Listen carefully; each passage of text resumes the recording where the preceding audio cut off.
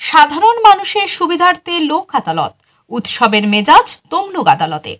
নয় ডিসেম্বর শনিবার বছরের শেষ জাতীয় লোক আদালত। আর বছরের শেষ লোক আদালতে মানুষের ভিড়, উৎসবের মেজাজ তমলুক আদালতে। ফৌজদারি থেকে ট্রাফিক আইন একদিনের আদালতে উঠল একুশ হাজারেরও বেশি মামলা। ফৌজদারি, মানি লন্ডারিং, ট্রাফিক আইন ভাঙা ও বিদ্যুৎ বিল বকেয়ার মামলা সহ একদিনে একুশ হাজারেরও বেশি মামলা আদালতে উঠল পূর্ব মেদিনীপুরে। পূর্ব মেদিনীপুর জেলার লোক আদালতের এবার বিশেষ দিক হল সহকারী বিচারপতির আসনে একজন রূপান্তরকারী মহিলার পাশাপাশি একজন প্রায় আশি শতাংশ দৈহিক প্রতিবন্ধী রয়েছেন। জাতীয় লোক আদালতের মাধ্যমে এই মামলাগুলির নিষ্পত্তির জন্য শুনানি শুরু হয় নয় ডিসেম্বর শনিবার। সুপ্রিম কোর্টের নির্দেশ অনুযায়ী প্রতি বছর চারটি লোক আদালত বসে দেশ জুড়ে আর এদিন বছরের শেষ জাতীয় লোক আদালত শুরু হয়েছে। এদিন পূর্ব মেদিনীপুর জেলায় জেলা আদালতের পাশাপাশি কাঁথি ও হলদিয়া মহকুমা আদালতেও জাতীয় লোক আদালত বসেছে। জাতীয় লোক আদালতে পূর্ব মেদিনীপুর জেলায় মোট সাতাশটি বেঞ্চ গঠন করা হয়েছে। এই বেঞ্চগুলিতে মোট একুশ হাজার তিনশোটি মামলা নিষ্পত্তির জন্য রাখা হয়েছে। পূর্ব মেদিনীপুর জেলার তমলুক জেলা সদর আদালতে মোট এগারোটি বেঞ্চ গঠন করা হয়, যার মধ্যে তিনটি শুধুমাত্র ট্রাফিক আইন ভঙ্গ মামলার জন্য রাখা হয়। সব মিলিয়ে এই এগারোটি বেঞ্চে নিষ্পত্তির জন্য মোট এগারো হাজার তিনশোটি মামলার শুনানি করা হয়। জাতীয় লোক আদালতের বিভিন্ন বেঞ্চের মামলার শুনানি শুরু হওয়ার পর বিভিন্ন বেঞ্চ পরিদর্শন করেন পূর্ব মেদিনীপুর জেলার জেলা ও দায়রা বিচারক প্রিয়ব্রত দত্ত এবং পূর্ব মেদিনীপুর জেলার আইনি পরিষেবা কর্তৃপক্ষের সচিব সমরেশ বেরা সারা ভারত জুড়ে লোক আদালত চলছে, এটা জাতীয় লোক আদালত বলা হয়। বছরে চারটি লোক আদালত অনুষ্ঠিত হয়। তার মধ্যে এবছরের দু হাজার তেইশ সালের এটি সর্বশেষ লোক আদালত আমাদের তমলুক জেলাতে তিনটি সাব ডিভিশন সদর sub division Tamluk, Haldia sub division এবং এগরা ও কাঁথি সাব ডিভিশন মিলিয়ে এগরা সাব ডিভিশনের সরি কাঁথি সাব ডিভিশনের কাঁথি আদালতে তিনটি লোক আদালত আমরা অনুষ্ঠান করছি। এতে আমরা সর্বমোট সাতাশটি বেঞ্চ গঠন করেছি এবং সাতাশটি বেঞ্চে মোট একুশ হাজার তিনশো মামলা আমরা বিচারের জন্য নিয়েছি এবং জজ সাহেব যেমন বললেন যে আমরা আশা রাখছি প্রায় ষাট শতাংশ মামলা আমরা এখান থেকে নিষ্পত্তি করতে পারব। লোক আদালতে যেটা হয়, সেটা বেশ কিছু মামলা সাধারণ আদালতে দেখা যায় যে এত মামলার চাপ বিচারকরা এ করতে পারেন না আইডেন্টিফাই করতে পারেন না যে কোন মামলা খুব তাড়াতাড়ি দুপক্ষকে একটু কাছাকাছি আনলে নিষ্পত্তি হয়ে যেতে পারে। এই লোক আদালত থেকে পরের লোক আদালতের মধ্যে যে তিন মাস সময়, এই সময়ের মধ্যে আমাদের লোক আদালতের যারা কর্মী আমাদের জেলা আইনি পরিষেবা কর্তৃপক্ষের যারা স্টাফ তারা কি করে? আদালতের সঙ্গে কথা বলে তাদের রেকর্ড থেকে ওই মামলাগুলিকে আমরা আইডেন্টিফাই করি, যেখানে নিষ্পত্তির সম্ভাবনা আছে, দুই পক্ষকে কাছাকাছি বসিয়ে দিলে। এবং তার পরিপ্রেক্ষিতে আমরা কিছু প্রি সিটিং করি।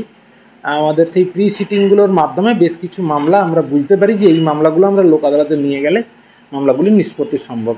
সেই মামলাগুলিকে নিয়ে একদিনে উৎসবের মেজাজে হৈ হৈ করে আমরা এই লোক আদালতটা অনুষ্ঠানটা করি এবং এখানে আমরা গত বেশ কয়েক বছর দশ হাজারের গণ্ডি ছাড়িয়ে যাচ্ছে আমাদের ডিসপোজালের রেকর্ড এবারেও আমরা আশা করছি এগারো হাজারের কিছু বেশি মামলা এই একুশ হাজারের মধ্যে নিষ্পত্তি হবে।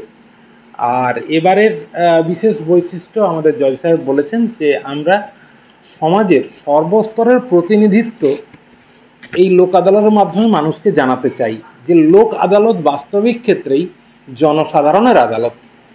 এক্ষেত্রে সর্বস্তরের মানুষের সহযোগিতা, সর্বস্তরের মানুষের তার মধ্যে পার্টিসিপেশন এটাও আমরা কাম- কামনা করি। সেজন্যই আমরা সহকারী বিচারক হিসেবে দুজন মানুষকে আমরা এখানে এনেছি। একজন রূপান্তরকামী এবং একজন যিনি কিনা বিশেষভাবে সক্ষম।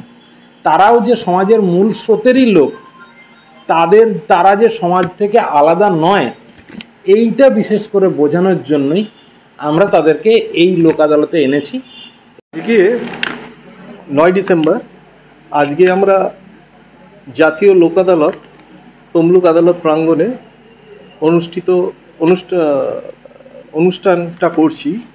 এটাকে অনুষ্ঠান এই জন্যই বলছি যে এখানে ঠিক স্বাভাবিক ন বা নর্মাল লোক আদালতের মতো তো কাজকর্ম হয় না। এখানে আমরা সেটেলমেন্টের আহ, জোর দিই এবং এই সেটেলমেন্টের জন্য এই মামলাটা আর অগ্রগতি না হয় যেগুলো সেটেলমেন্ট হয়ে যাচ্ছে মামলা ফাইনালি এখানে ডিসপোজড হয়ে যায়। এটাই হচ্ছে লোক আদালতের বৈশিষ্ট্য যে দুপক্ষই যেন মনে করে যে তারা সুবিচারটা পেয়েছে নেগোসিয়েশনের মাধ্যমে। আজকে তমলুক আদালতে উপস্থাপিত হয়েছে এগারো হাজার দুশো একানব্বইটা কেস। কন্টাই আদালতে মানে কাথি আদালতে চার হাজার ছশো একুশটা কেস। হলদিয়া আদালতে দু হাজার আটশো বারোটা কেস। এছাড়াও প্রায় দু হাজারের ওপর সারা জেলা মিলে সংখ্যাটা বাড়তেও পারে। ট্রাফিক চালান দু হাজারের বেশি, প্রায় আড়াই হাজার আরও বাড়তে পারে। ট্রাফিক চালানের কেসও হচ্ছে।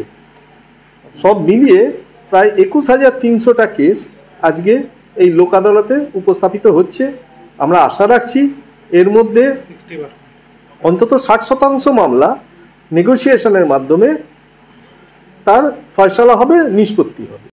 ভর্তি চলিতেছে ভর্তি চলিতেছে। আপনাদের সন্তানকে প্রকৃত শিক্ষায় মানুষ করে তুলতে চান, তাহলে আর দেরি না করে আজই চলে আসুন পশ্চিমবঙ্গ সরকারের অনুমোদন প্রাপ্ত ইউডাইস কোড সম্বলিত ময়নাতে প্রথম আইএসও সার্টিফাইড যুক্ত শিক্ষা জগতে আলোড়ন সৃষ্টিকারী আঙ্গুরময়ী শিশু নিকেতন। বর্তমান শিক্ষার প্রতিযোগিতায় আপনার শিশুর শিক্ষার বুনিয়াদ করতে এবং নিশ্চিন্ত সাফল্য পেতে ও শিক্ষার ভিত মজবুত করতে আজই যোগাযোগ করুন আমাদের শিক্ষা প্রতিষ্ঠানে। এখানে নার্সারি থেকে চতুর্থ শ্রেণি পর্যন্ত ভর্তি চলিতেছে। স্থান পূর্ব দক্ষিণ ময়না কুন্ডুপুলের সন্নিকটে আঙ্গুরভিলা ময়না পূর্ব মেদিনীপুর। কিরে বোন এতদিন পর? থাক থাক প্রণাম করতে হবে না। ভেতরে চল। বাহ খুব সুন্দর বাড়ি বানিয়েছিস তো দাদা। তা রং করাসনি কেন? রং তো করাবো কিন্তু ইন্টেরিয়র ওয়াল এক্সটেরিয়র ওয়াল ইত্যাদির জন্য কোন কোম্পানির রং ভালো? কোথা থেকে নেব? কাকে দিয়ে করাবো? এসব সম্বন্ধে তো আমি কিছুই জানি না। ও, দাদা, সেজন্য তোর নিকটবর্তী এশিয়ান পেইন্টসের একমাত্র easy colour prime store Gunamoyee enterprise আছে তো? গুণময়ী এন্টারপ্রাইজ দেয় Asian Paints safe painting service ওনারা কম্পিউটারের সাহায্যে ঘর রং করিয়ে দেখিয়ে দেবেন এবং কোন রং ভালো লাগবে তার পরামর্শও দেবেন। তার সাথে ওয়ারেন্টি কার্ডও দেবেন। আমার বাড়িতে এসে রং কেমন হয়েছে দেখে ছবিও তুলে নিয়ে গেছে। বেশ ভালো তো। তুই তাহলে এক্ষুনি আমাকে গুণময়ী এন্টারপ্রাইজের ঠিকানা আর যোগাযোগ নাম্বারটা দিস। গুণময় এন্টারপ্রাইজ ঠিকানা জলচক পিংলা পশ্চিম মেদিনীপুর। যোগাযোগ number eight two four zero seven two zero one five one বিজ্ঞাপন দেওয়ার জন্য যোগাযোগ করুন স্টুডিও কল্যাণী ভোগলাবাড়ি ময়না পূর্ব মেদিনীপুর। নতুবা ফোন করুন Jadab Bera nine eight double zero three zero three zero one seven এছাড়া Asit Bera nine nine three triple two seven seven three nine